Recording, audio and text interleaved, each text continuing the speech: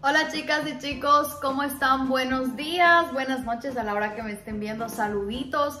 Bueno, el día de hoy en este video te voy a enseñar cómo vamos a limpiar nuestra máquina o nuestra cafetera Keurig para hacer este nuestro cappuccino, lo que a ti te gusta, tu latte y todo esto.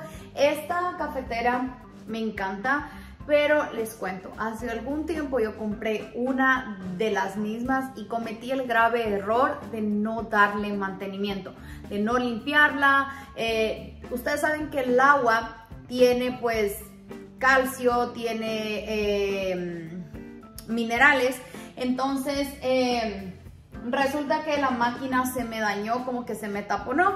Entonces les voy a enseñar cuál va a ser el proceso que yo voy a estar utilizando para limpiar esta máquina. Ustedes pueden utilizar vinagre, pero yo en este caso, como va a ser la primera vez que la limpio, lo recomendable es limpiarla cada tres meses. Voy a estar usando el mismo eh, líquido que te dice que debes utilizar para limpiarla. No he visto ningún video aquí, lo busqué, lo busqué, lo busqué y no lo encontré, así que dije necesito compartirlo esto con ustedes porque sé que muchas de ustedes tienen la misma cafetera. Entonces, bueno, vamos a hacer el procedimiento y espero que ustedes puedan hacerlo. Es súper fácil y sencillo y si tú tienes alguna receta casera que me puedes dejar en los comentarios porque más o menos este líquido cuesta entre 15 y 20 dólares, pues te lo agradecería muchísimo para poder así ahorrarnos el comprar este líquido y si tú lo trataste ya en casa con una receta casera, déjanos aquí en los comentarios. Así que bueno, vamos a comenzar.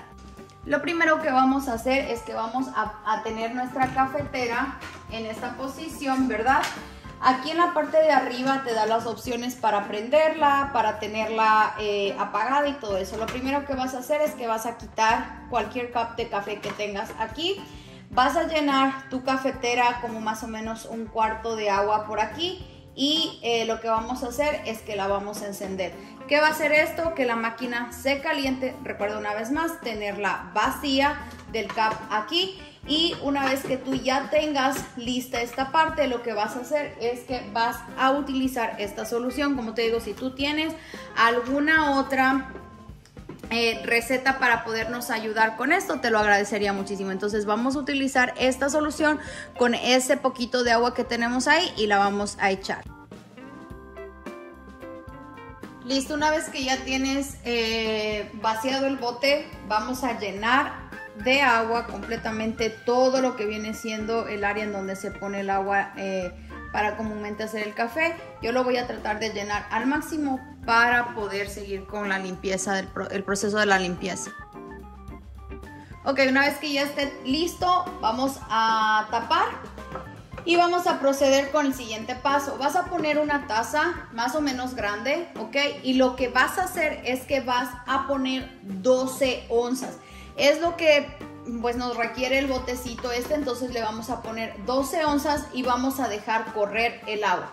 Vamos a esperar a que salga todo, como les dije, 12 onzas es lo que necesitas y esperamos a que salga todo, todo, todo, todo, todo el líquido. Recuerda siempre hacer los pasos que te estoy mencionando para que tu proceso de limpieza sea exitoso porque recuerda que lo que queremos hacer es que saque todo, todo, todas las impurezas y más que todo para que se destape lo que tiene adentro la cafetera si es que quieres que te dure más tiempo. Recuerda que este proceso se lo hace cada tres meses. Ok, perfecto, terminamos y te voy a mostrar no salió pues nada diferente ni, ni nada negro, nada, nada, nada, solamente ahí. Ahora, vas a dejar reposar, vas a apagar tu máquina del café y vas a esperar 30 minutos. Es lo que vamos a esperar para seguir eh, el procedimiento, el proceso para limpiar nuestra Keurig. Ahorita lo que necesitamos es dejar el líquido que habíamos puesto que corra o esté dentro de la máquina durante 30 minutos. Así que a poner cronómetro y a esperar. Listo, una vez que ya pasaron los 30 minutos, lo que vamos a hacer es que vamos a volver a encender la cafetera y vamos a esperar nuevamente a que caliente.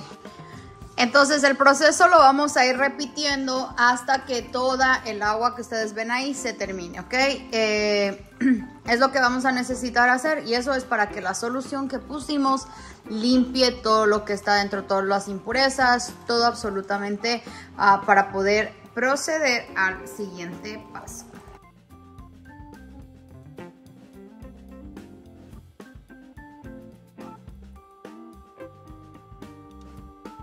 Una vez que ya se terminó toda el agua y en la parte de aquí superior dice eh, titila el botoncito, quiere decir que necesitamos cargar agua de ahí. Entonces, ¿qué es lo que vamos a hacer? Con agua filtrada vamos a llenar nuevamente la parte que tenemos del agua, pero recuerda, primero lo que vamos a hacer es dejar reposar 30 minutos para que todo lo que está dentro limpie la cafetera. Ahora lo que vamos a hacer es que ya pasado los 30 minutos, vamos a llenar la parte esta de aquí igual, completita toda y traten de hacerlo con agua filtrada, no agua de las llaves para poder así pues tener una mejor, un mejor resultado a este proceso de limpieza. Listo, ahora tapamos, encendemos y vamos a hacer el mismo proceso. Supuestamente dice que, que tienes que hacerlo dos veces, volver a llenar esto por dos veces y sacar todo el agua. Pero yo, le yo la voy a hacer tres veces porque quiero estar 100% segura de que todo el químico que está aquí dentro pues salió. Y bueno mis chicas y mis chicos, espero que hayan disfrutado este video y que la información les sea útil para poder ustedes conservar su cafetera al 100%. No te olvides que aquí abajo en la cajita de información tengo todas mis redes sociales en donde me puedes seguir. Y no te olvides, regálame un like, suscríbete, activa la campanita de notificaciones y nos estamos viendo en un próximo video. Adiós.